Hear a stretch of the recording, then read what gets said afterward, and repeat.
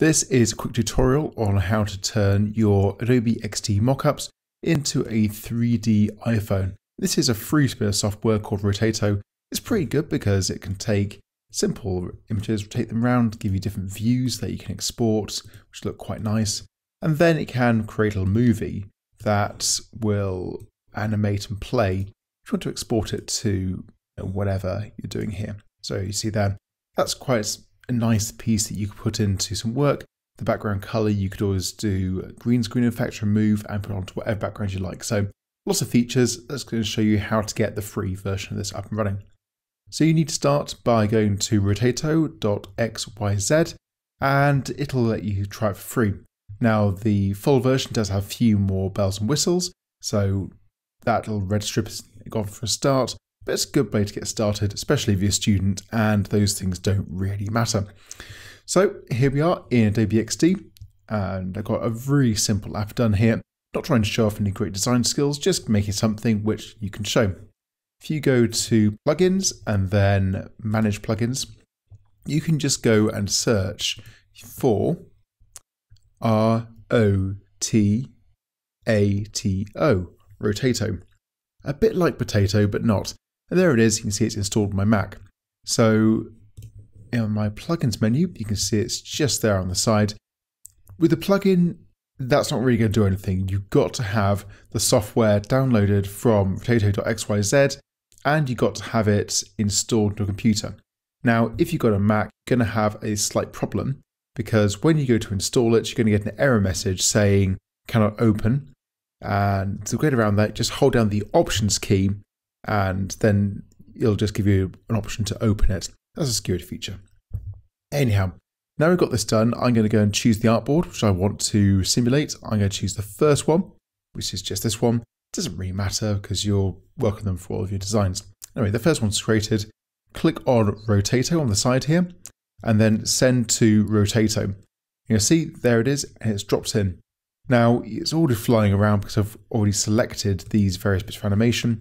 So I was going to show you just what to do with this. So I'm just going to delete what I've got done here. And these aren't anything particularly special. All I did was I went through to the animations tab top right. It's got a few options there. And you can see that when I just hover over, they'll animate for me. I'm going to choose the first one there and click on the add button. Maybe add another one, just add that doesn't really matter.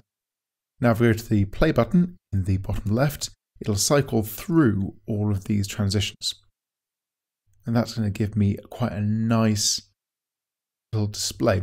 Now maybe I'll choose some and think this isn't really quite what I want, and I can just move these around and delete them or whatever.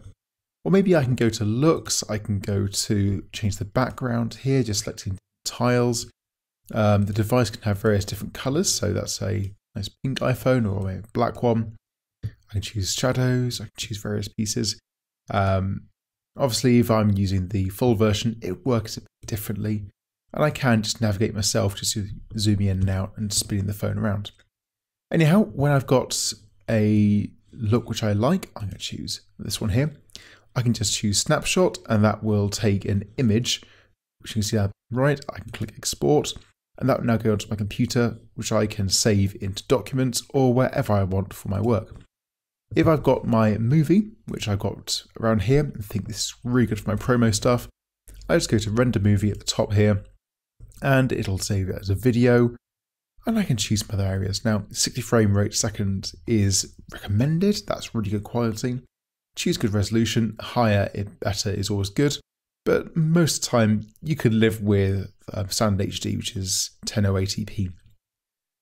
Always go for the higher quality rendering because that's going to give you the best quality video and you want a good quality product. So then just click render and it'll go for you. So those are some ways to export things. I won't go over into how to remove this background because that's a different video about using different software. But if you just search on uh, YouTube of how to green screen with whatever software you've got, like iMovie, you'll find quite a few things out. So, cool bit of free software, definitely worth upgrading if you want to work professionally. But as a student, this is a wonderful piece of kit for video prototyping and displaying your amazing designs.